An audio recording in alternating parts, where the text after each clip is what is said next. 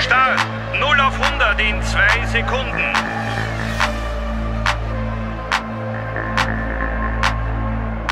Dreihundertfünfundvierzig km/h. Schumacher.